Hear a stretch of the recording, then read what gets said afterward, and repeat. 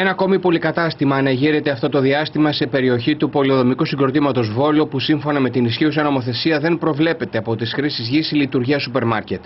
Ο λόγος για το πολυκατάστημα επί της οδού Παρασκευοπούλου στη συνοικία της Αγία Βαρβάρα, στη Νέα Ιωνία, όπου σύμφωνα με σημερινό δημοσίευμα της εφημερίδας Ταχυδρόμος, μηχανικοί διατυπώνουν σοβαρές ενστάσεις, υποστηρίζοντας ότι η συγκεκριμένη περιοχή είναι γενικής κατοικίας και κατά συνέπεια δεν επιτρέπεται η ανέγερση σούπερ μάρκετ. Μάλιστα υποστηρίζουν ότι κακώ ο Δήμος έδωσε τη σχετική άδεια.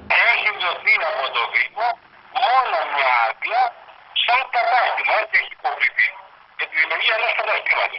Τώρα, υποχρεούται αυτός όταν θα βάλει το προϊόν μέσα, που το προϊόν θα είναι για τρόφιμα, αφού φέρει μια σειρά από κάποια χαρτιά που θα ζητηθούν όπως ο νόμος ορίζει, θα είναι ένα κατάστημα τροφίμων, που αυτό επιτρέπεται. Εάν όμως πουλάει και άλλα είδη όπως ηλεκτρικά και ρούχα, δεν, δεν επιτρέπεται, έτσι; Πρέπει να τονίσουμε ότι το ισχύο νομοθετικό πλαίσιο δεν είναι ξεκάθαρο και έτσι παρέχεται η δυνατότητα για διαφορετικές ερμηνείες με αποτέλεσμα να ξεφυτρώνουν πολυκαταστήματα σε γειτονιές του πολυδομικού συγκροτήματος όπου δεν προβλέπεται κάτι σχετικό από τις χρήσεις γης. Χαρακτηριστική είναι η περίπτωση του σούπερ μάρκετ στη συμβολή του περιφερειακού δρόμου του Βόλου με την οδό Κύπρου. Εκεί ένας χώρος συνολικού εμβαδού 1.600 τετραγωνικών μέτρων βαπτίστηκε κατάστημα τροφίμων παρά το γεγονός ότι η περιοχή στην οποία κατασκευάστηκε είναι γενικής κατοικίας και δεν επιτρέπει χρήσεις πολυκαταστημάτων. Η νόμη είναι σαφέστατη. Δεν υπάρχει ασάφεια νόμων. Αυτοί που θεωρούν ότι υπάρχει ασάφεια στο νόμο μπορούν να ζητήσουν διευκρινήσεις πριν αποφασίσουν.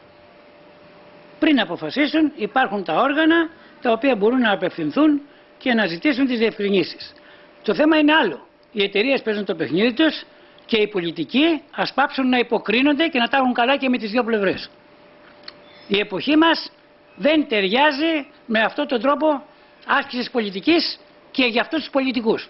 Η ερμηνεία του νόμου σχετικά με τα εμπορικά καταστήματα και τα σούπερ μάρκετ διευκολύνει τους κατασκευαστές και σε ό,τι αφορά το θέμα των θέσεων στάθμευσης. Καθώς στην περίπτωση εμπορικού καταστήματος απαιτείται η δημιουργία μιας θέσης στάθμευσης ανά 50 τετραγωνικά, ενώ στην περίπτωση του πολυκαταστήματος απαιτείται μια θέση ανά 20 τετραγωνικά μέτρα. Η TRT θα ξεκινήσει τη διερεύνηση ανάλογων περιπτώσεων στο πολυδομικό συγκρότημα προκειμένου να ξεκαθαρίσει το τοπίο σε ό,τι αφορά στην ερμηνεία της συγκεκριμένης νομολογίας.